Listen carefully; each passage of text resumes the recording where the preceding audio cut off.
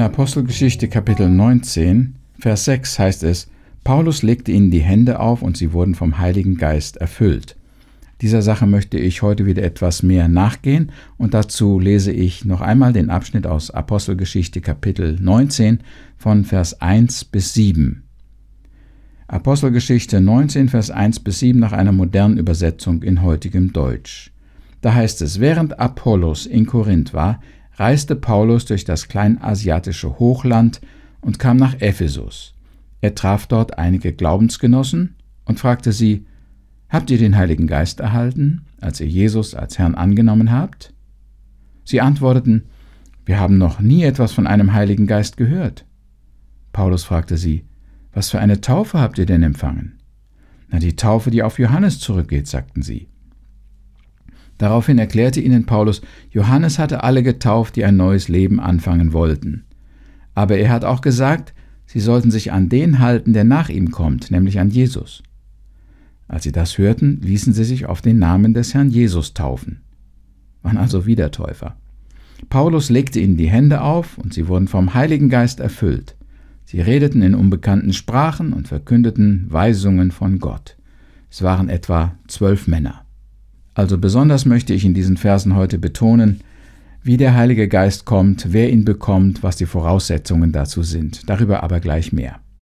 Ich glaube, viele würden mit mir übereinstimmen, wenn ich sagen würde, wir brauchen einen starken Mann in der Regierung.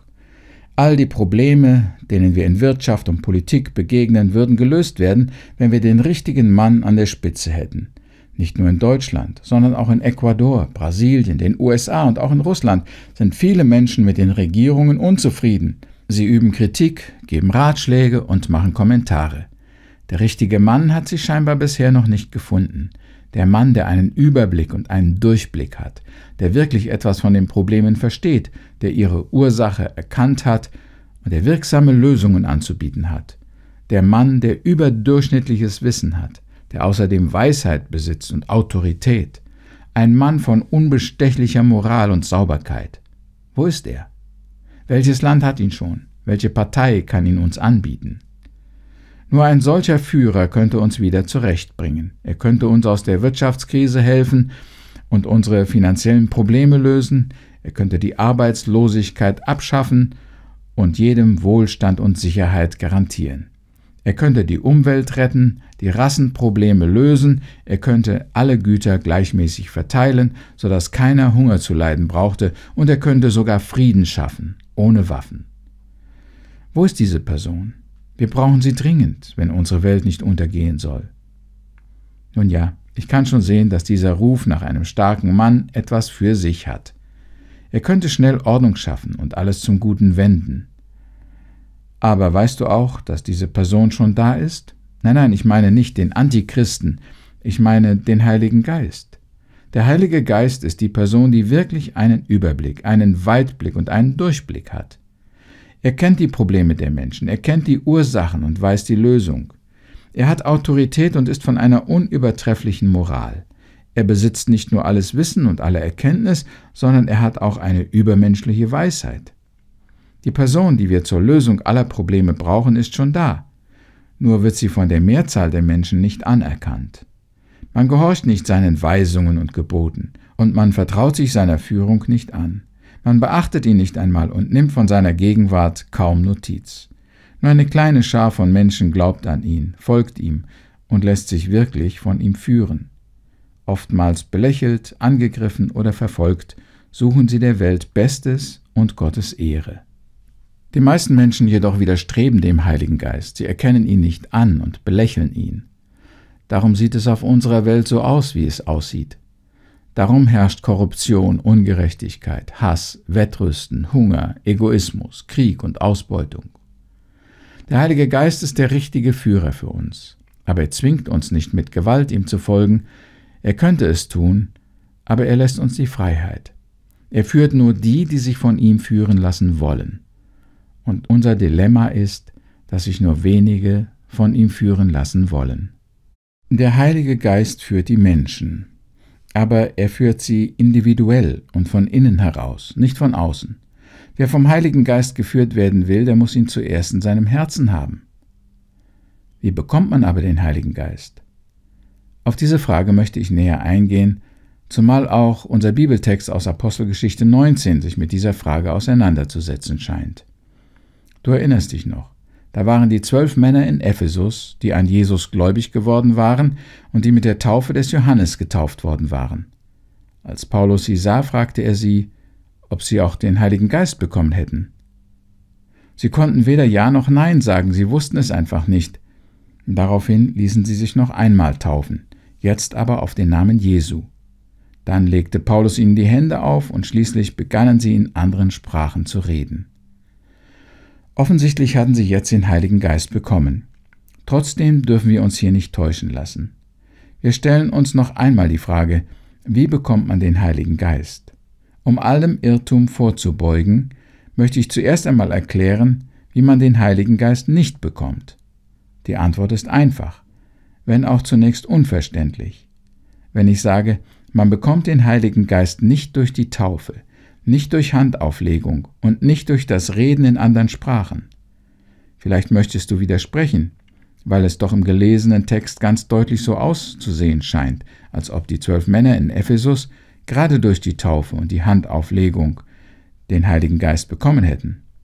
Aber das kann gar nicht sein, und ich will dir auch erklären, warum nicht. Erstens, damit du oder ich oder sonst irgendein Mensch den Heiligen Geist bekommen kann, sind innere Voraussetzungen nötig und nicht äußere. Wenn das Herz der Menschen nicht bereit ist, den Heiligen Geist anzunehmen, kannst du mit ihnen machen, was du willst. Du kannst ihn unter Wasser halten, du kannst ihm die Hände auflegen, du kannst über ihm beten oder ihm unverständliche Reden beibringen, es wird nichts geschehen. Der Heilige Geist kommt nicht durch Zeremonien und äußere Handlungen zu einem Menschen. Ich sage damit nicht, dass Taufe und Handauflegung Unsinn seien. Oh nein. Sie haben sicher ihren Platz und ihre Bedeutung, jedoch können sie nicht bewirken, dass Menschen nun dem Heiligen Geist gehorsam werden. Zweitens, man bekommt den Heiligen Geist nicht durch die Taufe und nicht durch Handauflegung, weil kein Mensch die Macht hat, über den Heiligen Geist zu verfügen. Paulus hatte nicht die Macht, den Menschen seiner Zeit den Heiligen Geist zu geben, und wir haben es heute auch nicht. Wir können wohl wünschen, dass dieser und jener unserer Bekannten und Freunde auch den Heiligen Geist bekäme, wir können auch dafür beten, die Leute einladen und bitten, den Heiligen Geist anzunehmen. Aber wir können niemandem den Heiligen Geist geben, nicht indem wir ihn ins Wasser tauchen und nicht indem wir ihm die Hände auflegen. Drittens, der Heilige Geist ist eine Persönlichkeit und keine unbestimmte Kraft oder Einfluss. Der Heilige Geist kann selber denken, wollen, handeln, entscheiden. Er muss nicht durch Zeremonien übertragen werden sondern er weiß selber, wann er in einem Menschen einkehren kann und wann nicht. Nun sagst du vielleicht, okay, und wenn ich den Heiligen Geist nicht durch die Taufe und nicht durch Handauflegung empfangen kann, wie bekomme ich ihn dann? Ja, das ist eine gute Frage. Hoffentlich ist sie bei dir nicht nur rhetorisch gestellt, sondern aus dem wirklichen Wunsch und Verlangen, dem guten Heiligen Geist Gottes zu folgen. Die Voraussetzungen, um den Heiligen Geist zu bekommen, sind folgende. Erstens, man muss erst einmal erkennen, dass man ihn noch nicht hat. Manchem Hörer mag diese Einsicht gar nicht schwer fallen. Er hat noch nie etwas um den Heiligen Geist gegeben und wollte ihn auch gar nicht haben. Aber manchen Menschen fällt es sicher sehr schwer einzusehen, dass sie noch ohne den Heiligen Geist leben. Es mag besonders die guten, frommen Menschen betreffen, die immer versucht haben, das Richtige zu tun, die immer Gott gehorchen wollten, die gute Werke tun wollten und die sich bemühten, gute Christen zu sein. Man kann auch ziemlich viel ohne den Heiligen Geist machen, das sehen wir immer wieder. Aber trotzdem fehlt das Entscheidende. Also, wer den Heiligen Geist haben möchte, der muss zuerst einmal erkennen und zugeben, dass er ihn noch nicht hat. Ich glaube auch, dass das bei den zwölf Männern in Ephesus der Fall war. Sie glaubten an Jesus, aber sie wussten nichts vom Heiligen Geist, und sie gaben es ehrlich zu.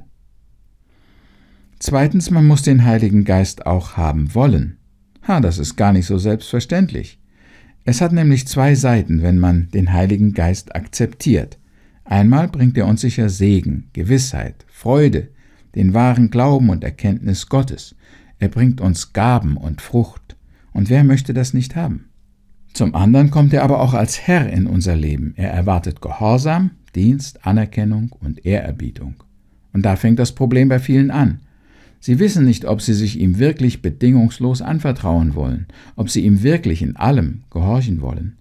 Manchen Menschen widerstrebt der Gedanke, dem Heiligen Geist die ganze Führung ihres Lebens zu überlassen. Sie wollen sich etliche Entscheidungen selbst vorbehalten.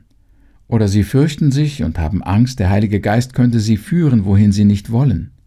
Er könnte ihnen einen Auftrag geben, den sie nicht ausführen wollen oder können.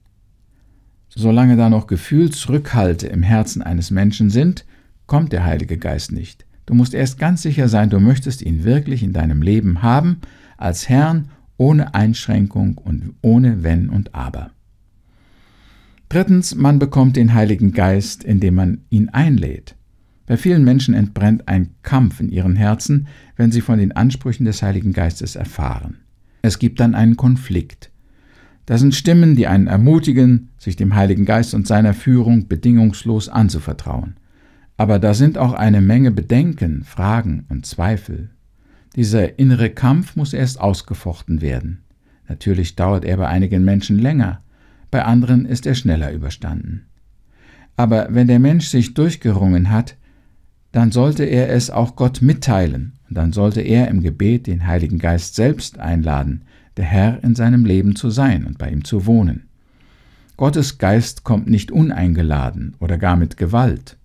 Er wartet, bis der Mensch bereit ist und ihm die Türe öffnet. Viertens, man bekommt den Heiligen Geist, indem man ihn im Glauben annimmt. Ich kenne Menschen, die können es einfach nicht glauben, dass der Heilige Geist in ihnen wohnt. Sie möchten ihn gerne bei sich haben. Sie haben ihn auch gebeten zu kommen, aber sie können es nicht glauben, dass er nun wirklich da ist. Im Christentum geht vieles nur im Glauben. Durch den Glauben wissen wir, dass Gott existiert, dass Jesus uns erlöst hat, dass unsere Sünden vergeben sind, dass Gottes Sohn wiederkommen wird, um die Welt zu richten. Nur durch den Glauben wissen wir auch, dass Gottes Geist in uns wohnt. Immer wieder sucht der Mensch noch nach anderen Beweisen und Zeichen, die seinen Glauben aufhelfen. Das geschieht besonders auch in dieser Frage nach dem Heiligen Geist. So schauen eben manche nach unerklärlichen Erscheinungen, wie das Zungenreden, oder nach übernatürlichen Kräften in ihrem Leben aus und nehmen das als Beweis dafür, dass sie den Heiligen Geist haben. Nein, wir bekommen den Heiligen Geist, wenn wir ohne zu fühlen, ohne etwas zu sehen, ohne Beweise, einfach der Verheißung Gottes glauben. Der Heilige Geist ist der Führer, den du brauchst. Er ist die Person, die unsere persönlichen und kollektiven Probleme lösen kann. Zögere bitte nicht, dich ihm anzuvertrauen. Wir beten noch. Herr, so viele Menschen leben noch ohne die Führung, den Trost und den Beistand des Heiligen Geistes.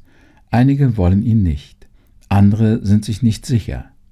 Hilf bitte, dass ein jeder klar versteht, ob er schon deinen Heiligen Geist in seinem Leben hat, und wenn nicht, so mache du ihm bitte deutlich, wie er ihn bekommen kann.